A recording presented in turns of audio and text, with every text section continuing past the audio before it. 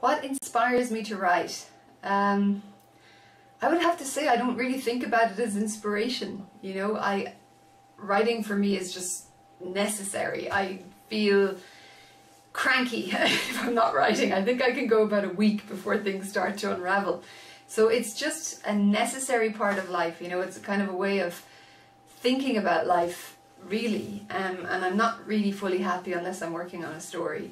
So that's how I think about it. But when I feel most inspired when I'm writing, I guess is when I find something between the characters that feels different. It just sort of feels more more true. Um, and that when something's really taking off and and that is when I feel most inspired.